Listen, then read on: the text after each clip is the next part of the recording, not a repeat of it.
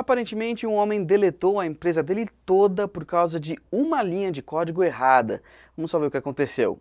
Marco Marsala tem, ou tinha, né, uma empresa de hospedagem, mas ele acidentalmente deu um comando que acabou apagando qualquer traço da companhia e os sites dos clientes dele.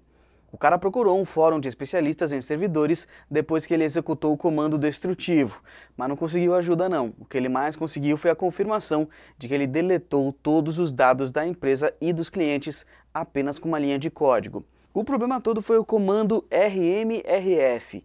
O RM indica ao computador que ele deve remover algo. O próximo R deleta tudo dentro de um diretório específico e o F indica que essa ação deve ser forçada, independente de avisos que poderão aparecer.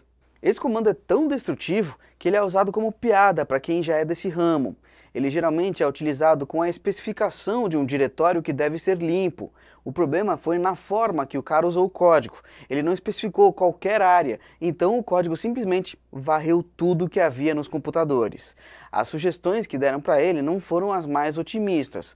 Um participante do fórum recomendou ligar para um advogado, não para uma assistência técnica, e ainda disse que ele ia falir Outro falou que uma empresa extremamente competente poderia tentar recuperar, mas seria muito caro e tomaria muito tempo, sem nenhuma garantia de que funcionaria. Mais detalhes você confere aqui embaixo nessa notícia do Tecmundo. Se você está no YouTube, o link para essa notícia está na descrição do vídeo.